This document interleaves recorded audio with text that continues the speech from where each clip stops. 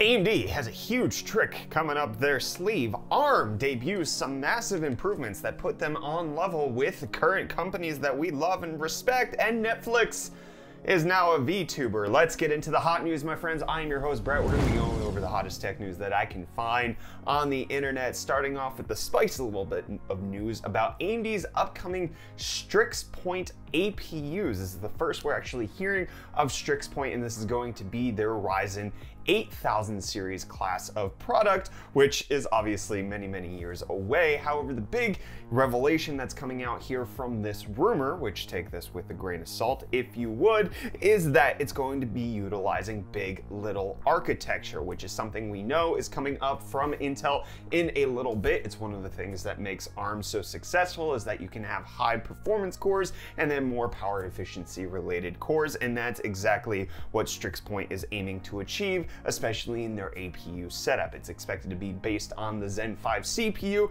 and on TSMC's 3 nanometer production. You add in DDR5 support, plus whatever else is going to come out by the time that Ryzen 8000 hits the shelves. This could be a massive gain for AMD on the APU side of things. It's anticipated that this is going to have eight big Zen 5 cores plus four little cores, giving you 12 total cores and making it so that you have a really good setup when it comes to just running off of a single chip. Again, this is the first that we're hearing about Strix Point. Details likely will change in the run up to these coming out in 2024, but it continues to show that at least on the forefront of ideas of rumors, AMD is continuing to iterate and make themselves better than everybody else. At least that's what everybody in the comments tells me. And everybody in our comments told me that they wanted this sponsor to come back to hot news, which is Synergy. We had multiple people request, hey, Brett, what's your link for Synergy? Well, it's linked in the video description, my friends. And in case you don't know what Synergy is,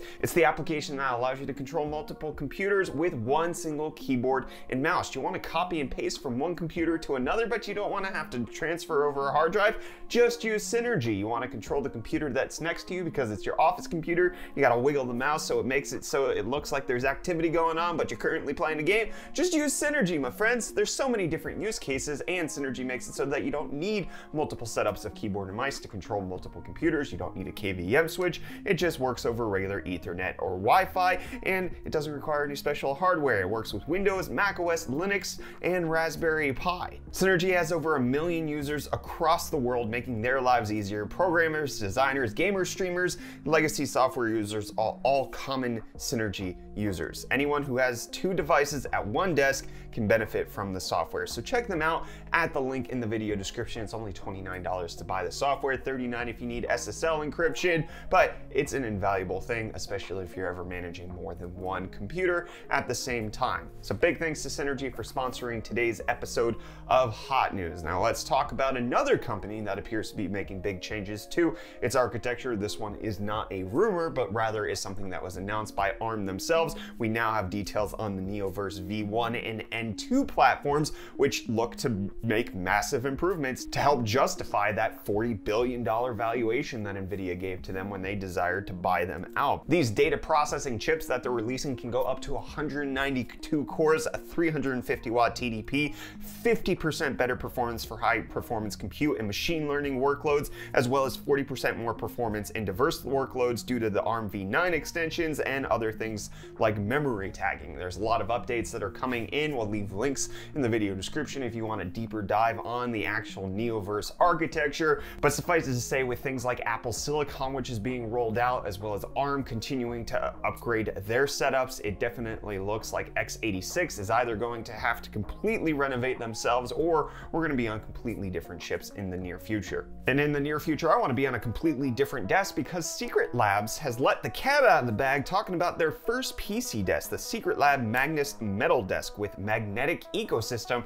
for a whole host of options when it comes to cable management. They're gonna have a unique offset tray design as well as just different magnetic accessories to clamp things on as well as a magnetic RGB lighting strip. It's gonna come in a 59 inch size as well as a 47 inch size and start at $450. And you can see there's a magnetic headphone hanger, a magnetic cable sheath, a magnetic cable anchors, as well as magnetic mouse pads, as well as cable routing options everywhere. Secretlab really good on the gaming chair side of things. Now it looks like they're bringing that to the desk. However, while the desk starts at 449, apparently once you start adding in all of the accessories, you're looking closer to a $550 price tag. Speaking of 550, 55,000. Bitcoin GameStop update. Bitcoin going back up to 55,000, recovering after just what was a woeful weekend. Thank you, Bitcoin, for now being worth my time to talk about. GameStop being worth more today, up 5% on the day. GameStop can chew into the moon. This is coming after they say they want to aggressively expand their store inventory selection, which is akin to them saying we're going to sell so much that GameStop's going to be worth $85,000 per share. This is not financial advice. I don't know how to read financial documents. And Intel and Microsoft don't want other companies reading what's going on on your computer and then jacking your computer with it. What's that? Oh, it's not that type of jacking. Oh, Oh, yeah, that makes sense. Okay, yeah, crypto jacking is what apparently they're trying to defeat with their Intel threat detection technology beyond accelerated memory scanning capabilities to activate CPU based crypto mining machine learning detection. This move further accelerates endpoint detection and response for millions of customers without compromising experience. So if your computer doesn't want to be jacked from crypto, And Microsoft got your back. And in case you don't want the stock inventory of graphics cards to be jacked by crypto as well, you might want to support the CMP graphics cards that NVIDIA is rolling out. We now have new details on the CMP 40HX. We got a showcase of how well it hashes, which given the name of 40HX, it roughly mines around 40 mega hash, and it allegedly is going to be costing 699. This is according to the Asus leak that has happened. We also have a leak of the potential release date of the 3080 Ti, May 18th is now the day. We talked about in yesterday's episode of Hot News that it was potentially May 25th, but now the new rumor is that May 25th is the review date, May 18th is the announcement date, and never is when you're going to be able to buy them. And YouTube doesn't want to buy any more general purpose architecture hardware to transcode the videos that you're seeing on their services. No, this video you're watching right now is going to be transcoded by a video ASIC. YouTube rolling that out. The VCUs or video transcoding units are going to be rolled out into Google data centers and they're going to deliver 20 to 33 times improvement in efficiency compared to the regular server platform. It's just going to be a regular PCI Express card. ASICs are great for specific things kind of the name. What's the point of all this generalized hardware though if you can't just shove it into things where it doesn't belong? That's not a phrase I thought I was going to say today. Eurocom launching the world's first PCI Express 4.0 based laptop and the way they're doing this is by shoving a Z590 motherboard into this laptop so you can get all of that PCI Express 4.0 speed up to 7 gigabytes per second read and write on those NVMe drives. It's going to be a delicious time for you my friends and it's also going to be a complicated time for you if you're on an Xbox Series X, but you want to play on Steam with your keyboard and mouse. Apparently, that's a thing that can be done now with the latest Chromium-based Edge browser update that came out to the Series X.